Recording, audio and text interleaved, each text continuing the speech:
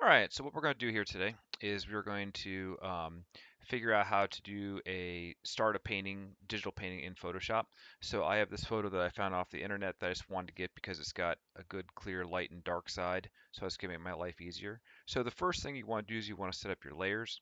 You want to have a layer for individual things. Layer for the skin, layer for the blouse, layer, layer for the hair. Okay. I'm also going to do a layer for the outline. So what I'm going to do with this is that I'm going to initially trace this, and so you can see this here. That's what my tracing looked like.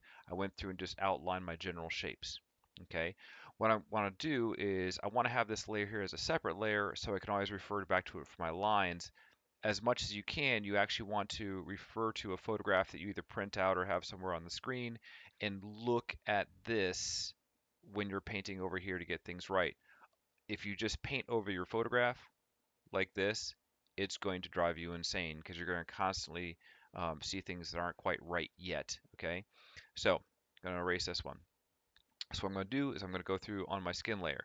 Now I've actually set this up so the blouse and the hair are above it, and that's because I'm going to paint in front of, these things are in front of the skin. The hair is mostly in front of the skin. The blouse is covering up the shoulder down here. So I'm putting the skin behind them. Okay, so brush, solid edge, hard edge line, 100% opacity, no pressure control even though I'm using a pen. And what I'm going to do is I've already set up a color palette here. And I'm going to set a color that I think is basically like a medium tone. Now you don't have to use realistic colors, I just am, just why not, okay? And the big thing I'm going to do with this is that I don't need to use a small, tiny little brush. I am not concerned about that at all. My point here is just to fill in a base color right away. The other thing is that since my blouse and stuff is going to paint over her skin, I don't have to be careful with this edge at all. Um, it's going to be behind stuff. And that's going to be the same thing up here with the hair. So I'm just going to go through, I'm going to put skin up here. And by the way, I want this because if I have individual strands of hair and skin shows through, I want skin to show through. I don't want individual lines to show through. Now I'm going to make my brush a little bit smaller here to go in and do the ears. Up, one second, that was a little bit too far over. Messed up my line. Um, let's try that one more time. So paint this in here.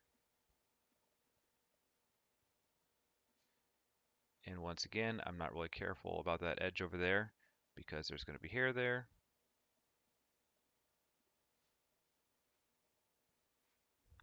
And there we go. Skin color is done. My base skin color is done. I might add a little bit there just in case I'm worried that might show through.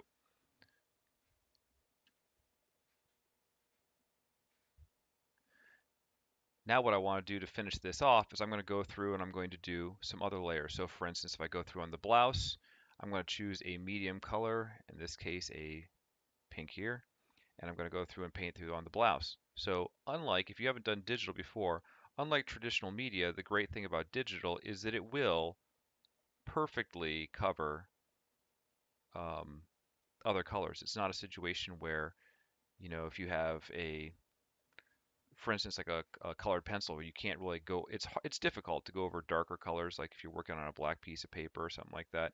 Not the case with digital. It's just going to cover it. So I'm going to pause here. I'm going to do the rest here, but notice the blouse is on the layer above the skin, and I'm going to put some base shapes for the hair in here too real quick. Okay, so now I filled in the hair. Notice that I didn't go all the way to the edges, and that's because I actually want to have a hair texture where you can see gaps showing through the hair. Now, when I do this with a brush, I am going to go with a smaller brush. Let me shrink this down. There we go. Um, and the other thing is that I'm going to turn my smoothing options on. Now, right now this is blanked to make, if this doesn't, if this is grayed out, because when I look at this, it's grayed out, I'm going to go right here. These are my brush options. Make sure that smoothing is checked. All right. And I'm going to turn this on, and you can play with this. It kind of depends on how um, smooth of a line you want it to be. But I'm going to try 25% or so, and we're going to see how this goes. And I also am going to turn on my pressure and my size. Actually, I'm just going to turn on the, the size right here. So this is size by pressure. If you can do it, that's awesome. Um, so what this allows me to do is too dark. Um, go with a slightly thinner brush, obviously. And I think I'll turn this back on, turn the pressure back on. And don't worry about getting these things exactly right. Obviously, you have some stray hairs and strands like that. You can go through and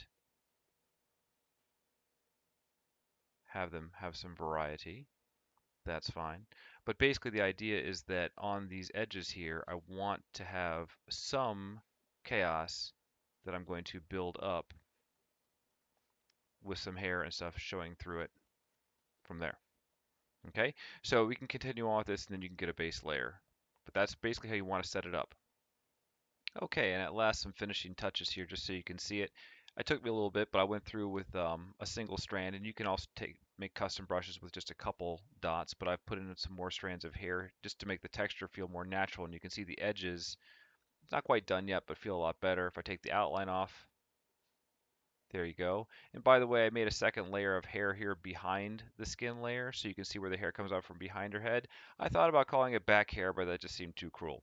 So anyway, so this is a good setup as your base. Remember, use your larger brushes as much as you can and uh, just fill stuff in and pay attention to what's on top of what.